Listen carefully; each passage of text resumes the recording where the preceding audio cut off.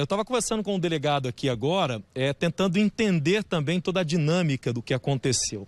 E é muito delicado, mas vamos lá. Foi por causa de duas latinhas de cerveja. Não, não, foi por causa de 50 reais emprestados para comprar essa latinha de cerveja que acabou num rolo danado e o delegado vai explicar melhor para a gente. Doutor, a gente vê as imagens ali que foram nubladas, que são imagens muito fortes, onde inicialmente se acreditava ser um latrocínio. Por isso, esse caso veio para a DEIC.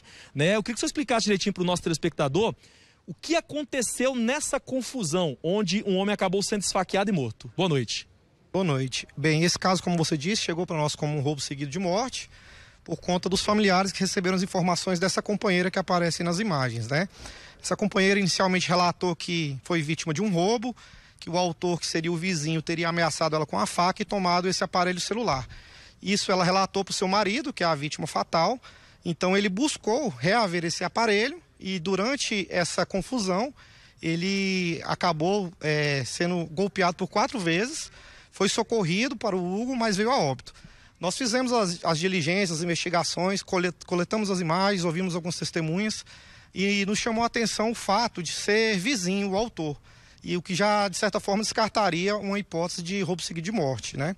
Então, quando fizemos a prisão do autor, ele contou toda a história, dizendo que realmente era vizinho, que tinha efetivado essas facadas contra seu vizinho, mas que a motivação seria por conta de um troco de 50 reais que ele teria é, emprestado para essa companheira da, da vítima fatal, para que comprasse duas latinhas de cerveja e ela se recusou a devolver. Então ele se apoderou desse aparelho celular até que ela pagasse a quantia, mas ela não fez e acabou acusando ele né, de roubo, o que aconteceu ali, uma luta corporal, vindo as facadas e o óbito posteriormente no hospital. Delegado, a gente percebe que nas imagens parece que os homens conversam antes, né, um pouco ali, e possivelmente esse homem morreu sem saber da confusão, porque ele foi informado pela companheira que tinham furtado, tinham roubado o celular dela. E ela apontou o vizinho como sendo ladrão. Ele vai atrás, parece que o vizinho tenta explicar, eu tô com o celular porque ela me pegou um dinheiro. É basicamente isso. Exatamente. A motivação contada pela companheira é, totalmente inidônea, né? Isso a gente pode perceber aí por conta das filmagens e por conta também dos depoimentos que nós coletamos aqui já no inquérito policial após a prisão em flagrante. Então, a motivação que o autor conta, ela é verossímil. Ele só foi autuado em flagrante delito por conta do excesso doloso. Porque a partir do momento que a vítima já não apresentava nenhum tipo de reação, ele poderia ter cessado aquela agressão ali, acionado as autoridades competentes, ou até mesmo ser evadido. Mas não, ele preferiu dar continuidade e ele efetiva aquele golpe fatal na barriga, no abdômen da, da vítima, enquanto ela está deitada ao solo.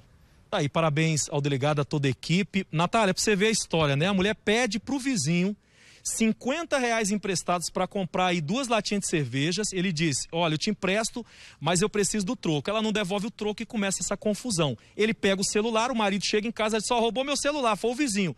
O marido vai lá e é morto com a facada.